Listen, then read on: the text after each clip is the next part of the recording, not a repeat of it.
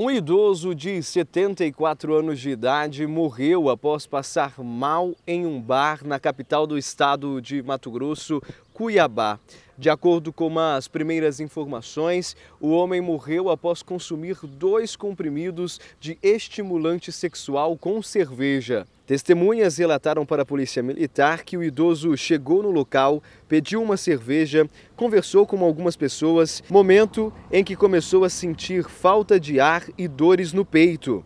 A equipe do SAMU foi acionada, mas o idoso já estava sem vida. A polícia militar encontrou no local, no bar onde o idoso foi encontrado morto, uma pochete. Nela havia uma cartela com quatro comprimidos do estimulante sexual, sendo que dois já havia sido consumido. O caso foi entregue para a polícia da capital do estado.